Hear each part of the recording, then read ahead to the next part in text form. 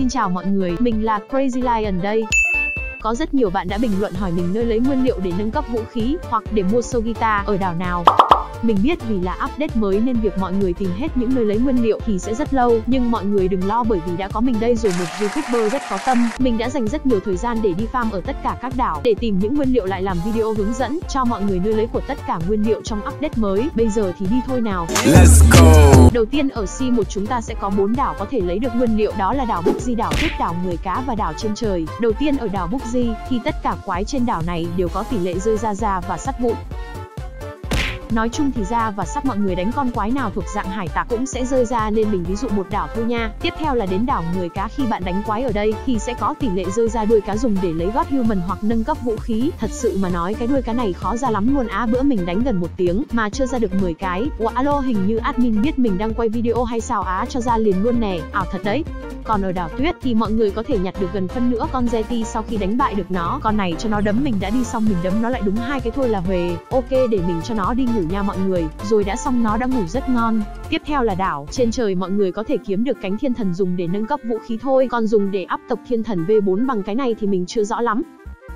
Qua C2 thì mọi người có thể đánh con boss này để lấy cục thiên thạch dùng để nâng cấp cây kiếm của nó. Con boss này thì yếu thôi nó đánh mình có mấy cái mà bay nữa cây máu rồi á. Cục thiên thạch này rất dễ ra nếu ai mà không ra thì phải gọi là xui lắm ai nha. Ok mình không ra luôn nha mọi người, cũng khá là hên rồi đó, thật là trầm kẻm. Tiếp theo là bạn có thể đánh factory hoặc mấy con quái ngoài này để kiếm nguyên liệu phóng xạ. À mọi người đừng để ý cái chat nha, không có gì đâu. Mấy cục nguyên liệu phóng xạ này thì dùng để nâng cấp mấy cái vũ khí chủ yếu là ở C1 thôi sơn vào là tăng 15% sát thương á. Chỗ này chắc mình khỏi phải review nhiều ha quá quen thuộc đánh quái ở đây rơi ra cục nham thạch để học God Human á. Mấy con này là ở hòn đảo đầu lâu bên C2 nè, đánh rơi ra cục màu tím này cũng để lấy God Human luôn. Tiếp theo là vô cái hang này đánh con ma cà rồng nó sẽ rơi ra cái răng nanh nhỏ, tỷ lệ rơi ra thì rất thấp, mình đoán vậy do mình đánh lâu lắm mới ra hoặc là do mình xui, nhìn mặt nó đúng ngáo luôn. Thôi để anh cho mày đi ngủ luôn nha.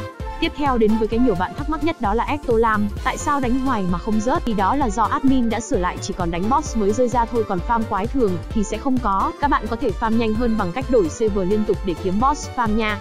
Ở C3 thì các bạn qua đảo Hira và mấy con quái có chữ Dragon là sẽ kiếm được vảy rồng, dùng để sơn skin cho mấy món vũ khí và tăng sát thương hơi bị nhiều. Này là ở lâu đài ma này đánh con này sẽ được linh hồn của cục lửa. Nói chung mấy cái nguyên liệu này chủ yếu dùng để nâng cấp vũ khí thôi nên là mọi người lấy nhiều nhiều đại đi cho mạnh. Ngoài ra ở sau biệt thự thì mọi người có thể kiếm được cái răng nanh bự hơn nên có thể nâng cấp được mấy cây vũ khí xịn sò hơn. Các bạn cứ đập nó đi thế nào nó cũng dụng răng ra hà. Con này thì giống người cá ở C1 thôi, nhưng có điều khó rơi ra đuôi hơn nên mình sẽ không review nhiều nha. Cuối cùng cùng đây là thứ nhiều người săn đuổi nhất nguyên liệu để đánh boss mới thức tỉnh đâu. Khi đủ 10 cái mọi người có thể ra gặp NPC này để đổi lấy cúp đánh boss mới. Video đến đây là dài rồi, mong mọi người hãy bấm nút đăng ký kênh và like video này để ủng hộ mình nha mãi yêu.